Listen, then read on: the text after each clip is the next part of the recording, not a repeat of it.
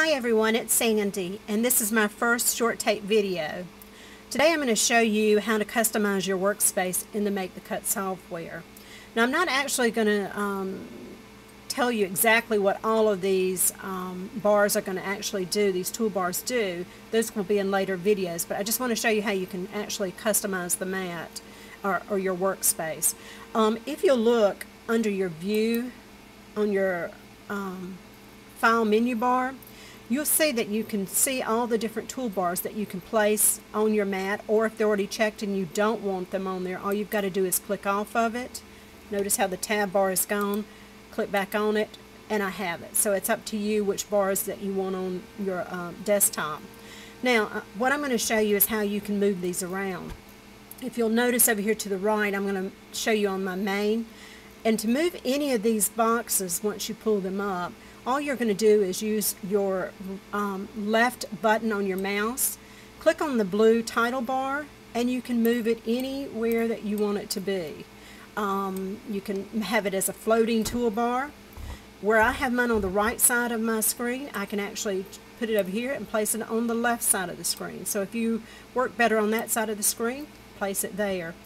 Um, uh, now notice how when I did move this, the layer properties box covers the main box.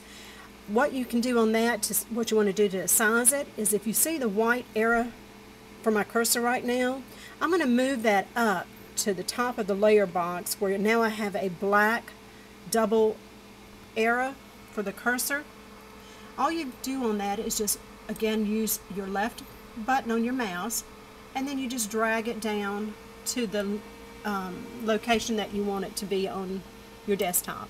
So again, that's how you adjust that. If um, you want to move these bars up here, for instance, your Shape Magic toolbar, if you look to the left side of the bar itself, there's kind of like a little line there.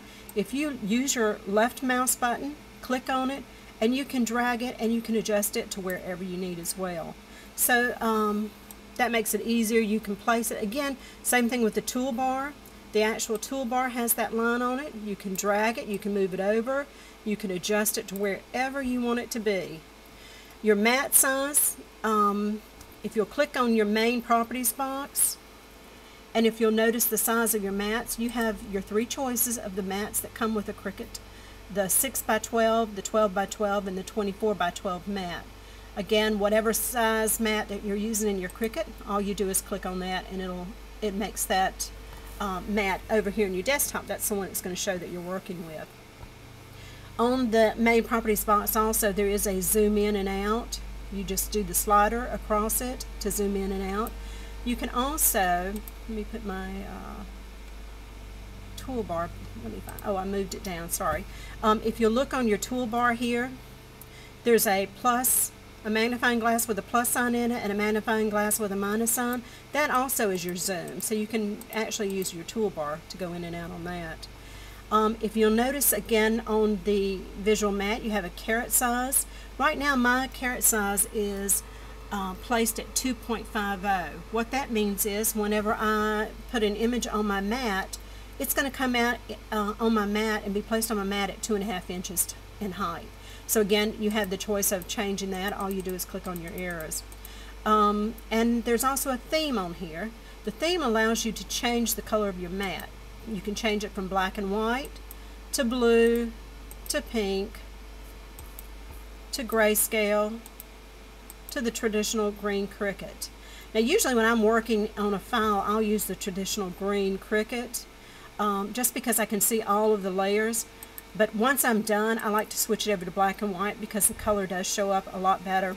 But working on black and white, a lot of times when you're breaking your images, a lot of that gets hidden behind the black and it's a little hard to see. So I really like um, using the either the other colors, but coming back to that black and white when I'm finished.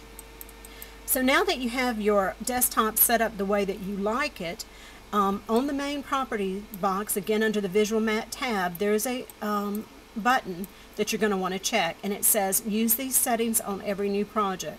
So what you'll do is you'll click on that and then once you close and exit out of make the cut let me close some of the things I was working on sorry about that and you open make the cut back up there's your settings. They're saved exactly how you placed them when you closed your um, file when you were finished for the day. So anyway, um, that's how you actually customize your mat and you'll want to do it to a way that's your preference and makes it easier for you um, when you're designing. I hope you have found this tutorial helpful. Check out my blog for other videos and written tutorials for the Make the Cut software and have a great day. Thank you.